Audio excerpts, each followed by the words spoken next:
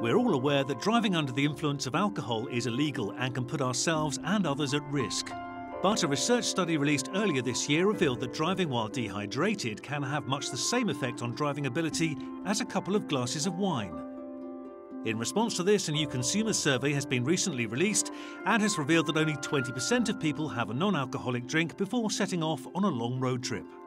The research study by scientists at Loughborough University put a number of drivers through a series of tests on a driving simulator to assess the effect of mild dehydration on reaction time and performance. There have been a few studies recently that showed if you simply restrict fluid intake for, for 12 hours or, or slightly longer, people's performance goes down. As the level of dehydration increases, we begin to notice some symptoms. We maybe have a dry mouth, we maybe feel a little bit thirsty, anxious, perhaps a little bit of a headache, uh, perhaps a little bit tired.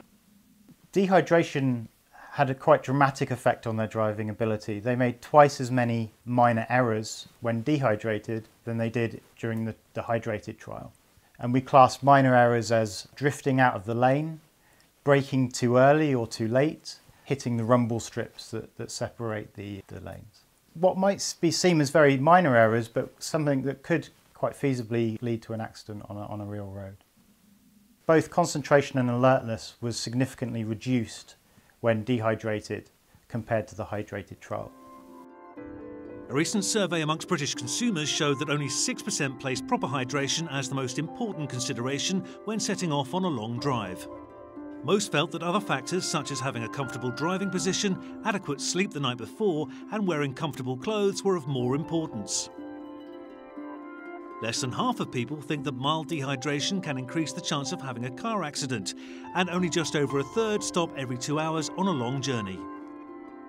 Now, the European Hydration Institute, who funded the study, are keen to offer their advice for drivers to ensure we all remain safe on the roads. I think there are a number of things you can do. I think if you're setting out on a long drive, you should set out well hydrated before you go. Don't avoid having that cup of tea or cup of coffee before you head out because you don't want to stop on the way to go to the bathroom. So that's point number one.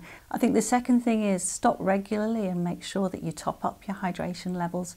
And particularly if you're feeling thirsty at any time, that's a sign that you're already becoming mildly dehydrated and you should definitely stop on those occasions and top up your hydration levels. If you are feeling at all tired, um, have a drink that contains some, some caffeine and perhaps some sugar. Um, or alternatively, if not, uh, any sort of soft drink or water would be fine. And I think the last point to make is that if you're driving, particularly in hot weather, and you might have your air conditioning on, that can actually have a drying effect on the atmosphere and, and may increase the risk of dehydration. And in those circumstances, just be a little bit more aware that you need to look out for signs and symptoms of dehydration.